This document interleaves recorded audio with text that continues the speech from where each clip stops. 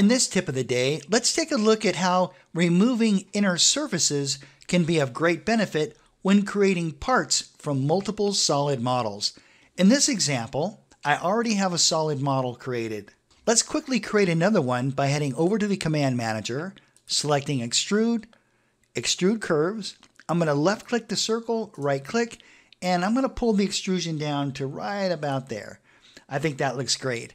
Now, before we can perform any additional work like adding fillets and things like that, we're going to need to combine both of these solid models together. To accomplish this, we're going to first need to select all of our geometry.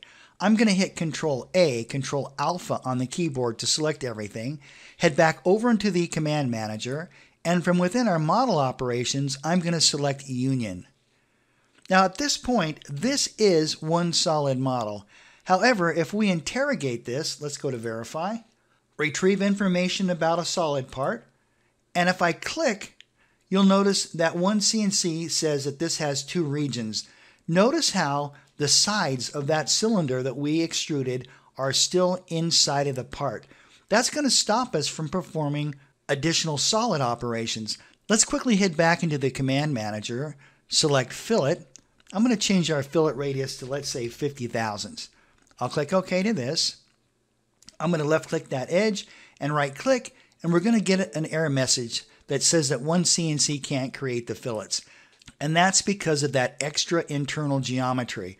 Now, we can get rid of that geometry by heading back over to the command manager, going back into our model operations, and this time we're going to select remove inner surfaces. I can now take my cursor and left click, and that's it. Those internal surfaces are now removed. Now, if we were to verify this, OneCNC says that this is a solid model with just one region. Let's go back over to our command manager, back into fillet, 50 thousandths, we'll click OK, left click the edge and right click, and OneCNC creates the fillet. All right, that's it for this tip of the day. I hope that helped out. Thank you so much for watching, and I look forward to seeing you in the next video. And don't forget to click the subscribe button.